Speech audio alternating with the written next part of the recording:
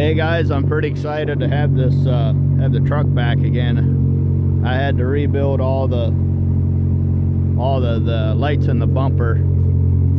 Um, there's there used to be two markers over here, one right there where the orange one was or is. One, two, three, four, and the other one. So there was seven lights all together, and most of those guys were dead. So this is the wire harness.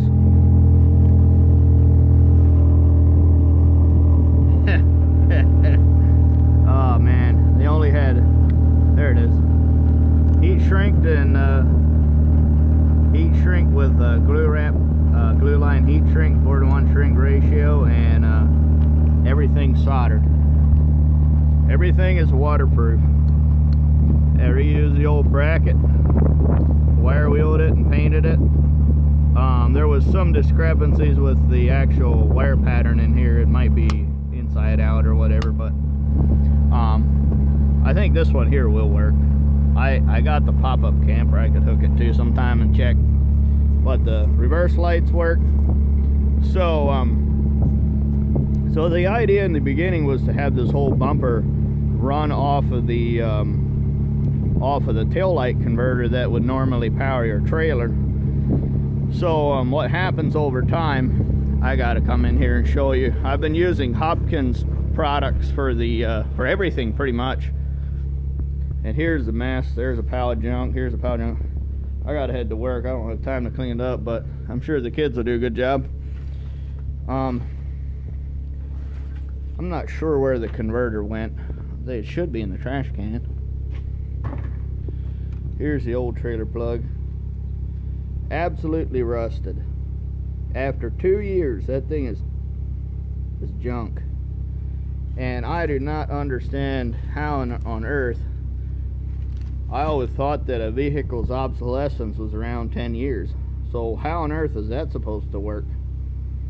There won't be anything left to plug into after three, four years, you know, so or five.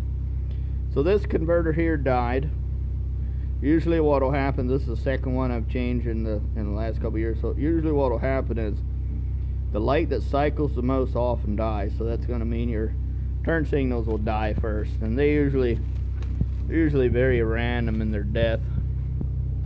They kind of come and go and work and won't work. And then the other one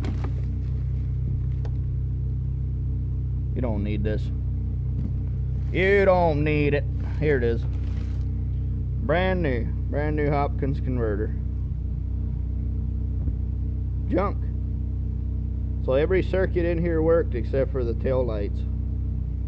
So I'm going to go outside now and explain some things. So, um, so if you don't know, most cars or trucks will have, they'll have reverse, they'll have turn signal, they'll have brake lights, and they'll have running lights. So basically that takes all this, uh, where's the inputs and outputs? Here's your vehicle inputs. So take all those wires and then reduce it down to, to three wires and a ground. So works pretty cool if you want to run trailer tail lights on your bumper. So this time I've taken the tail light wire. So on this controller, so on this controller, the I spliced, I split the wire ahead of the controller and ran the one wire into the controller and the other one to the to the uh, marker light. That one at least some lights to work if the next controller fails. The next controller I've used is a, a Curt brand powered tail light converter. So I turn on the running lights. I had no running lights on the on here, which is really weird. But the the going into the controller box but not coming out. The other funny thing was the turn signals worked, the running lights did not. So this thing was a fluke from brand new. So basically what I did, I went to Canandaigua, got me a got me a Curt controller, chopped these wires off, chopped it off over here, spliced a new one in, boom, everything works. So last night I got the I got the seven-way plug hooked up. I got the trailer brakes hooked up and the and the flat. So so I splice, I split off the I split off the running lights into two different circuits. the con the converter powers the uh, running lights on the on the trailer lights and then the the truck wiring powers the running lights here. So on the on the turn signal now, as you know, the converter powers the turn signal, the red turn signal, and then the amber turn signal is powered off of the truck's harness. That way if the converter fails, I'll still have a turn signal. And I'll still have my third brake light. Usually they don't fail though. So sounds like sounds like a cry for help, but all we need to do is we need to get this truck through one more winter.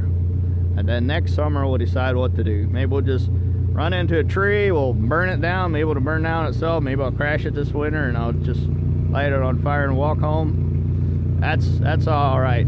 All right, so I don't think this door is closed. There we go. Now it's closed.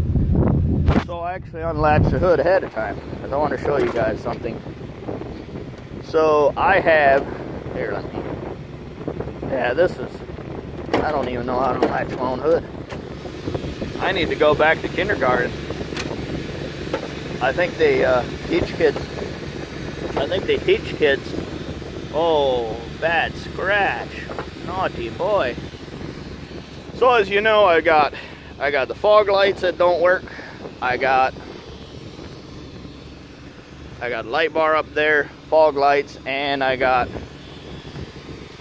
I got the, the necessary lights if your truck is really wide, which is it's not. But um, you know, ego is a wonderful thing.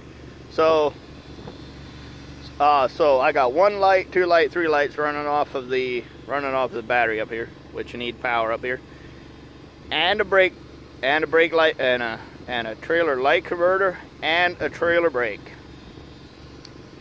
So these the the auxiliary lighting is not really what worries me. It's a it's the uh, it's a trailer converter and the trailer brake. Those are on all the time. And if they fail in any way, um, guess who's gonna gonna burn their truck to the ground? Not me, because I got a bucket in here full of some some stuff, you know, that you need. So I got a relay. Here's the ground. Fuse fuse power. power takeoff and that's probably not power takeoff. Anyway, I got this plastic block here. I don't know why it won't focus. I got this plastic block here where all the power is taken off the relay. So, um, I don't know. Good, good spot to keep your extra fluids because, because you know you need them, maybe.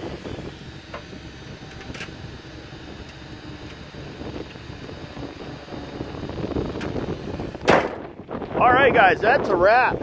Don't don't buy Hopkins products, even though I've still got I still got that that plug right there is a Hopkins plug, but it's of a different design, and I use some silicone to try and waterproof it because I actually do enjoy wiring. Um, it's just the part where um, the part where I run out of money. That's the part where it really goes south.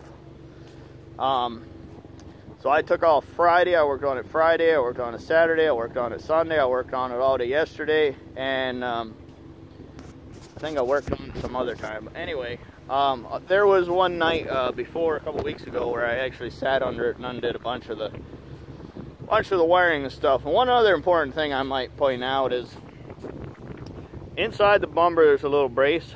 So the ground starts there, and then there's a good bit of length and then it joins a black uh, 12 gauge wire that runs all the way across, picks up all the grounds, and I ran out of wire, so now it's bolted right here. And I gave it a good spray with um, that fantastic stuff. What's it called? Um, Ah, da da da da. Let's throw it run in here and see. Some kind of rubbery stuff.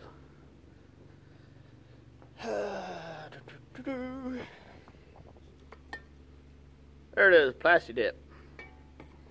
Plastidip seems like a pretty smart choice because A, it peels off, and B, it should seal should seal out the moisture. It's on the front of the support, you know, away from the salt spray. So, you know, the back of the bumper, man, that thing fills up with snow. It fills up with dirt, mud, salt, salty snow and ice.